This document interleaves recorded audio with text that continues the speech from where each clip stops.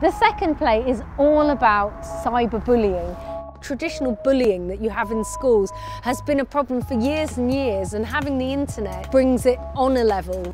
You were horrible online. That's the same as these kids being horrible in real life. So I've done the play by using the ghosts of past, present and future. It touches on the today and the repercussions of bullying and what could happen going forward.